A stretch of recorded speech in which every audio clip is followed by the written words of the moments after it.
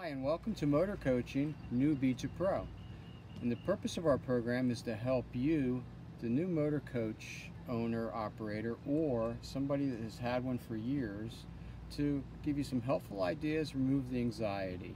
I know from experience, from going out and looking and purchasing a motor coach, going through that process of dealing with the salespeople, looking at multiple units, figuring out how you're going to pay for it and financing it, that creates tons of stress. Then once you sign the bottom line on the paperwork, and now you have it sitting in your driveway, the next thing to do is what do I do next? And that's what we're here to help you do, is determine what to do next. What you need, what you don't need, how to have fun with it, and how to get out and see the world. But the very first step is, what do you need to equip your motor coach? And then what we're going to do is a two-part video on this. The first part is we're going to go outside and go through all of our compartments. I call all the compartments below the main floor the basement. And that's where we store all of our items is in the basement that we don't need on a regular basis. So what we'll do is to say we'll go look through each basement compartment and we'll talk about the items that are in there and uh, say whether it's a luxury item or an item that you really do need. Um, Jen and I have been motor coaching for about two and a half years now. We're full-timers. This is our home. This is where we live. And this is where we work. We are also camp workers. And camp working, we go to a resort and at that resort we offer our services in the office or maintenance or whatever they need and from there that's how we derive our income. My wife also sells Mary Kay products and she does that from the motor coach too. So we have an in-home business out of the motor coach and plus we both do camp working. And they're both great and fun things to do. So what we'll do is we'll start, first start walking around the motor coach and we'll go through the basement compartments and as I come up to different parts of it, I'll explain to you why I have it, what I do with it, and whether it's a luxury or an item that you actually need to have. So let's get started with the tour. We're going to go up front here first. And if you walk by, you're going to notice on the front of the bus that there are tabs and snaps. The tabs and snaps are for a what we call a bra. And what the bra does is it protects the front end from, from stone chips as you're driving. And to me, that is not a luxury. That is something that you should do to protect your investment. After for, you've spent tons of money on this thing, you might as well protect it. But I don't keep the bra on while we're parked. And the reason for that is, is moisture gets behind it and that ruins the paint finish. So when you're driving, you put the bra on. When you stop, you take it off. If you're parked for more than a day, I pull it off and I do not keep it on because that just protects the, the finish in the surface. This finish here is over 10 years old and if you look at it, it looks like it's brand new and that's what the bra does. It helps protect it. So let's walk around to the other side. We'll go into our first compartment and we'll take a look at what we've got.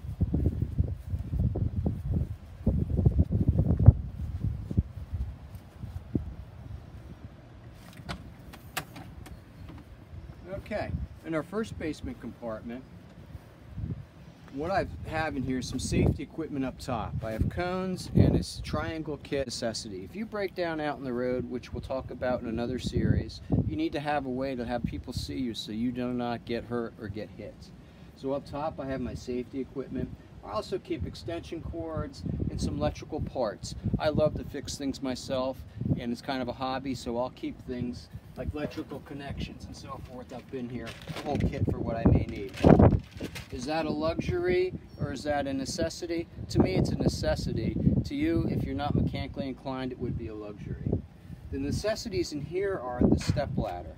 Every motor coach, you need to have a step ladder. You never know what's going to happen with your canopies or on the roof if you have to get up. We have a ladder in the back but this just makes it a little bit easier. Or if you're washing the rig or doing washing your windows or you have something to repair on the sides. If you don't have a step ladder you can't do it. So you need to get a step ladder. And this bin's all my septic connections. You need a basic septic kit. And we'll talk about that in another series when we get into the systems of what a motor coach has and how you use it. This is where I store the bra for the front. It's a Here's a, a canopy, it's a pop-up tent that you can use um, as an auxiliary place to be in the shade if you need. To me, that's a luxury, it's not a necessity.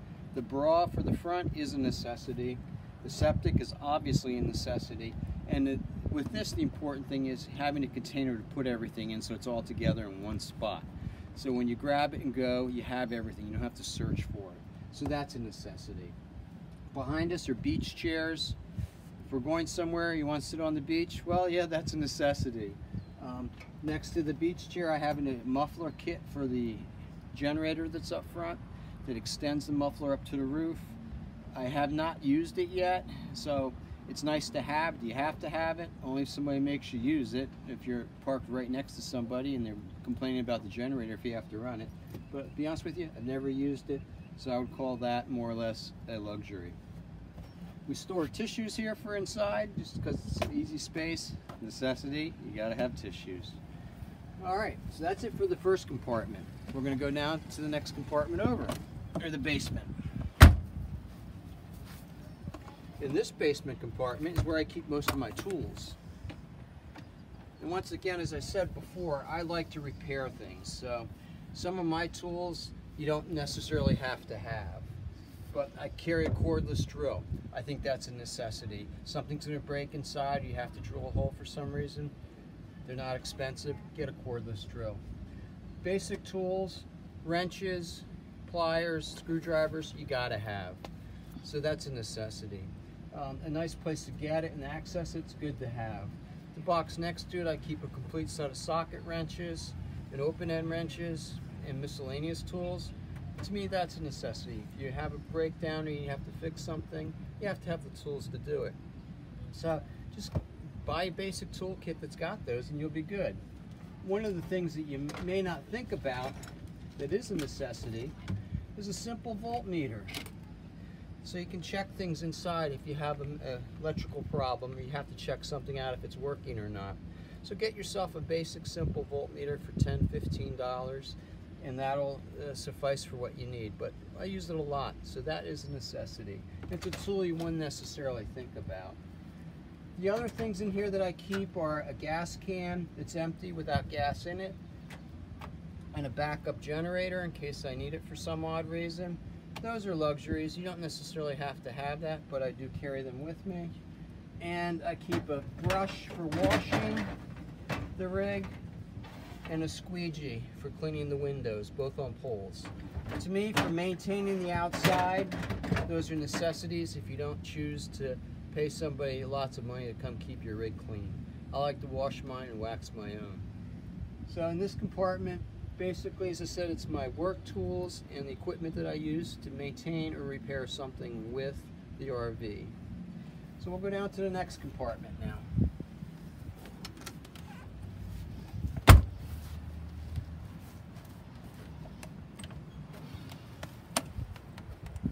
Next two deal with the water and septic.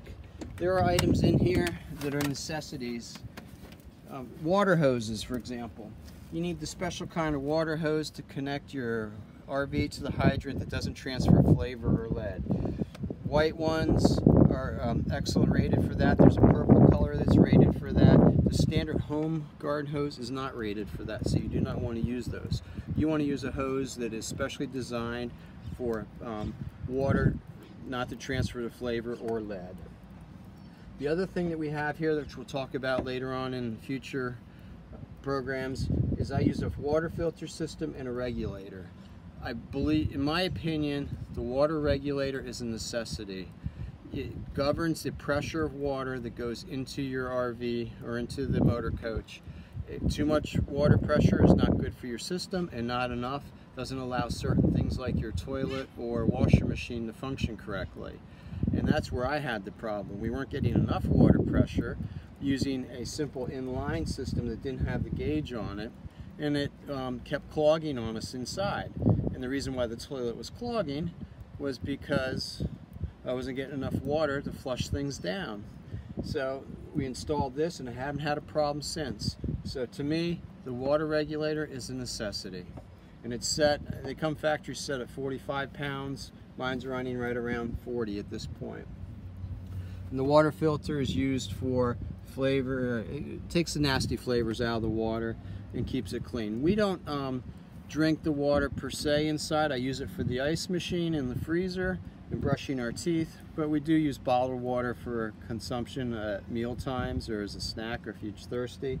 But the water you can drink and does taste okay. The other thing on this compartment is you have your septic and behind the septic there's a heater that we use for winter time. If you do wintertime camping, which is another program we'll talk about, you need to have the heater. Our septic has two systems to it, which we'll talk, discuss also in a later video. It has an emaciator that chops everything and it pumps it out in a smaller hose, or you can hook it up to a regular hose and drain it that way. So that sewer kit that I showed you in the first compartment, that's where I keep this hose and the fittings for when I'm connected this way. If I'm uh, a different kind of location, I'll use the emaciator pump and it's a small hose and a simple system. So in here, what you need to have as far as necessity is the hose. I carry a backup hose and the water pressure is a necessity. The filter is a luxury. We tow our car when we're going out with the 40 foot motor coach and we use a car dolly because of the way our car is set up. Uh, it's not designed to be a pull behind. So I have to put the uh, front wheels on the tow dolly to tow it. And also back here I carry a ladder rack for my hose, which is an auxiliary hose for if you're at the beach you want to hose your feet off, then it works out really well. And the second half of the ladder, which isn't on here normally unless I'm sitting in a campground. To us, the car dolly is a necessity because we like to take a vehicle with us. So I would suggest either finding a way to tow your car or um, directly or using a tow dolly. My back compartment is what I call the garage. Those are my basement, so that's all the storage items that we just went through on one side. So the garage holds the items that I would normally keep in my garage at home. And so in here is the garage items. And what I keep in here starting at the bottom is your um, spare antifreeze, spare oil. I keep on a Killam, which is kills bacteria in your diesel fuel. We had a problem with um, algae growing in the diesel, so now I constantly treat it with this product. And every fill up, I put a little, uh, it takes an ounce and a half into the tank and it prevents your algae from, from growing, which prevents the um, fuel filters from getting clogged. I keep my car wash in here, which we'll talk about at another time too a spray cleaner for cleaning up the bird poop on the side of your RV, which I'm very uh, particular about. I keep some um, pesticide here for ants and bugs. And then inside the bin here are the other chemicals like Armor All or wax, um, spray grease, things that I've accumulated over the time that we use on the RV they will come to you as you need them and you need to purchase them as you're washing and so forth. In here, the necessities that I view are the treatments for the diesel, because we're diesel engine, and the cleaning supplies for washing the outside and waxing the outside of your motor coach. Remember, your motor coach is an investment, and because it's an investment, you want to protect it and you want to keep it nice. There's no reason why a new motor coach um, cannot be maintained over a period of 10, 20 years and still look like a new motor coach if you take the time to take care of it.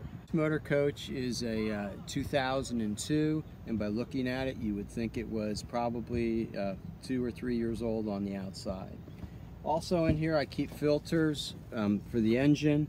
To me that's a necessity and filters for the generator system. Um, we carry uh, normally an oil filter, which I've recently installed I have to replace, and the fuel filters, like there should be two. There's a water separator, which is this one, and I have a uh, regular um, fuel filter, which is secondary to this one, and I haven't replaced it yet, but I need to from our last trip that we went on. I also keep booster cables in here in case for some reason you have to get jumped. That's a necessity, so I would um, put booster cables in as an added feature so that you have them.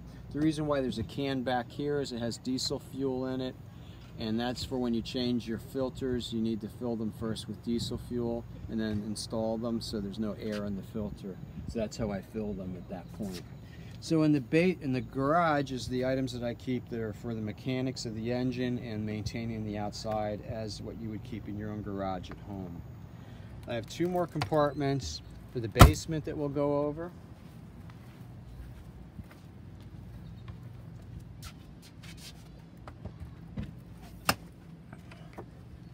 In this compartment, I keep a bucket. It's a necessity for washing and cleaning a paper shredder, which is a luxury. You don't necessarily have to have that. A toolbox that's filled with miscellaneous nuts and bolts, screws, and electrical connections. To me, that's a necessity. If something breaks and I need to fix it, this is my hardware store. If I'm camping out in the middle of nowhere, boondocking it, and I, something breaks, you need to have the part. Well, over time, I've accumulated different kinds of parts in this toolbox, and that's what I keep there. I also have some more uh, insecticide for ants, Ants um, sometimes are a problem in the campgrounds you go to, especially here in Texas and Florida. A cooler, and in the back there's another cooler. So I, and then behind the cooler is a tub that I use for draining my oil into when I change the oil. It holds 26 quarts of oil, and my engine here holds 22 quarts. So I can seal it and then take it to a oil recycling place and dump it. It's I believe in doing my own simple maintenance that I can accomplish and so I do my own oil changes and I do my own fuel filter changes. In the next compartment up front,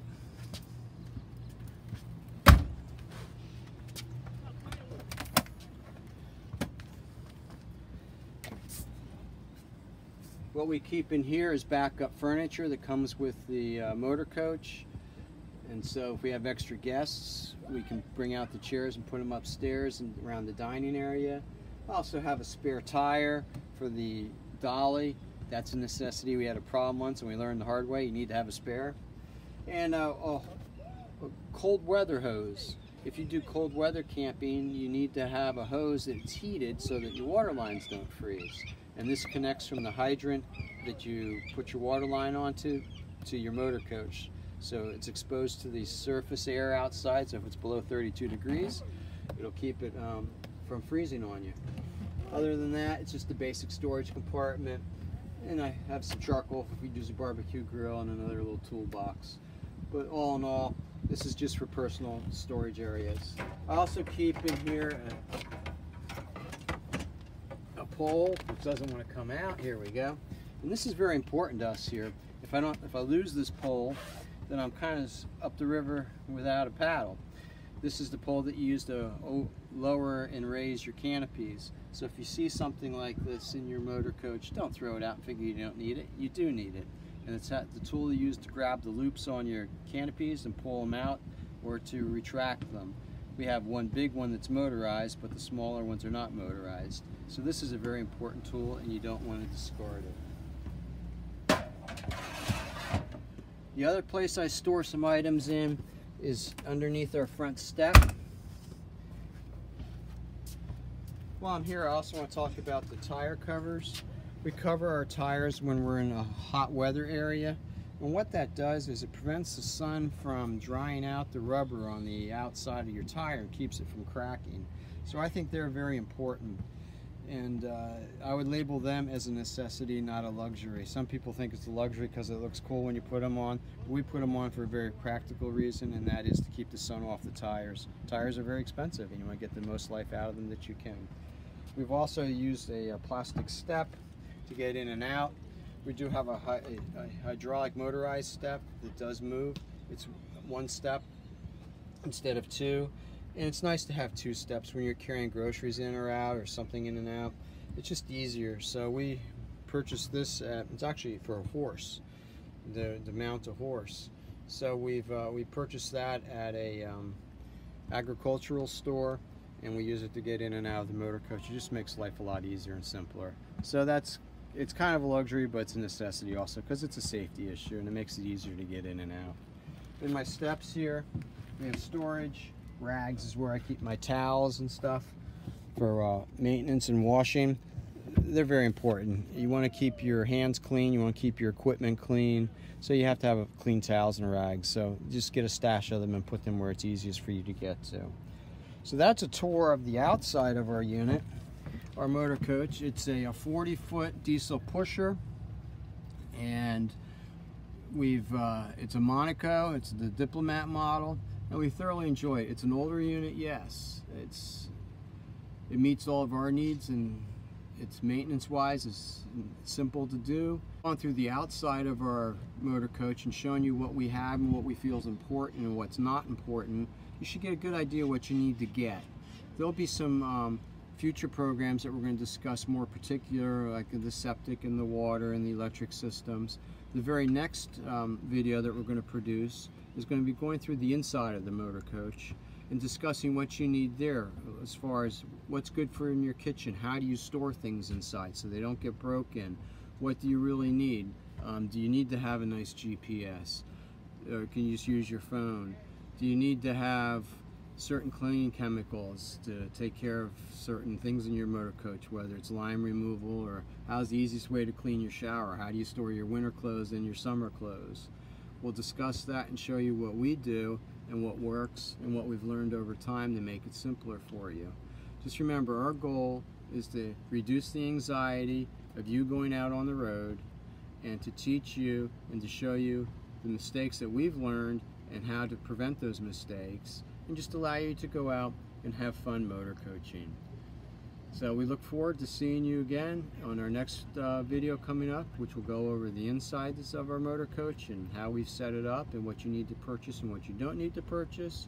Meanwhile, have a great day and we'll see you later. Thanks for watching.